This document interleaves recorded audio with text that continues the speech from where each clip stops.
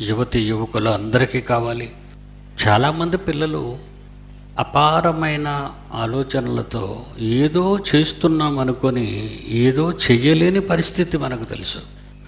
ఏంటో ఒక రకమైనటువంటి భావాలు కలిగిన వారుగా ఏదో చేస్తున్నాం అనుకొని ఏమీ చెయ్యని దశ. చివరికి అది వాళ్ళని వినాశనం వైపు తీసుకుని వెళ్ళిన పరిస్థితి మనకు తెలుసు. పిక్నిక్స్ కానీ వెళ్తారు. ఏదో జలపాతాలు నదులు అంటారు.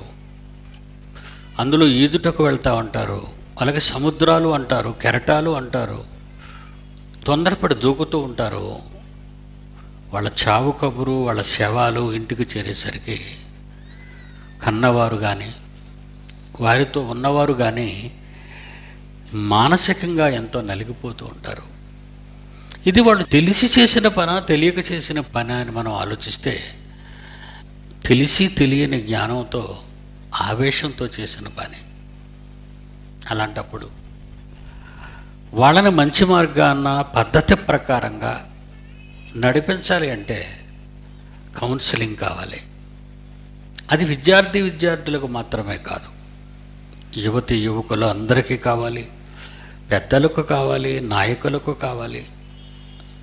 శాస్త్రవేత్తలకు కావాలి మేధావులకు కావాలి. బైబిల్ బాగా నేర్చుకోవాలి మీరు. మహాపండితులు అయిపోతారు మీరు. అది చరిత్రపరంగానా శాస్త్రపరంగానా అని మీరు అనుకోనవసరం లేదు. అన్ని రంగాలలో అన్ని కోణాలలో బైబిల్ నిర్ధారించబడి వ్రాయబడిన దేవుడు ప్రేమించి మీకు ఇచ్చిన మహాగ్రంథం అండి ఇది. బైబిల్ ఒక మహాజ్ఞాన గ్రంథం అది. అన్నట్టు కానీ ఎవరైనా ప్రపంచంలో ప్రశ్నిస్తే ఎనీ సైంటిస్ట్ క్రైస్తవుడి కంటే గొప్పవాడు ప్రపంచంలో ఎవడు లేడని అంటారు. ఈ బడుల్లో చెప్పని పాఠాలే. బైబిల్లో మీ కొరకు దేవుడు రాయించిన పాఠాలు. బైబిల్ చాలా గొప్పదండి. చాలా చాలా గొప్పది. ఇవన్నీ ఇదిగో ఈ పుస్తకంలో రాశానండి. ఇదిగో పుస్త ఈ పుస్తకాలు బాగున్నాయి మీ దగ్గర. అక్కడ స్టాల్లో ఉందండి పుస్తకం. నూతన సహస్రాబ్ది అజ్ఞానంపై జైశాలి సింహగర్జన ప్రపంచ మేధావులారా నమస్కారం అని లేదు అక్కడ. కాబడ్దార్ అని ఉంచండి ఎంత గెట్స్ ఉండాలండి అలా రాయాలంటే. గెట్స్. దేవుడు లోకమును ఎంతో ప్రేమించాననే మాట ఎప్పుడు చిన్నప్పటి నుంచి చదువుకుంటాం. ఆ ప్రేమలో ఎన్నో అపారమైన సంగతులు భద్రపరచబడ్డాయి.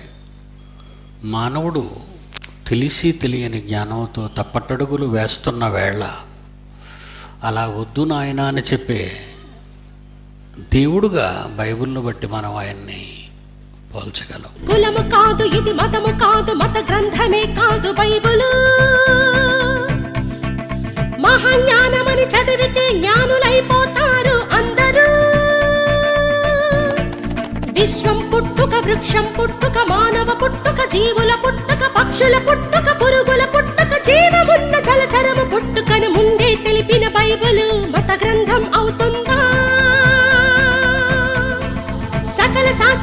కలిగిన బైబిల్ శాస్త్రం సృష్టికర్త వ్రాయించిన గ్రంథం సృష్టిని గూర్చి తెలిపిన గ్రంథం జనన మరణాలు తెలిపిన గ్రంథం దేశ భవిష్యత్తు తెలిపిన గ్రంథం సకల భాషలలో వెలసిన గ్రంథం ముద్రించిన వాటిలో మొదటి గ్రంథమే బైబిల్. ఆ వాక్యమే క్రీస్తు యేసని తెలుసుకో. ఇది నా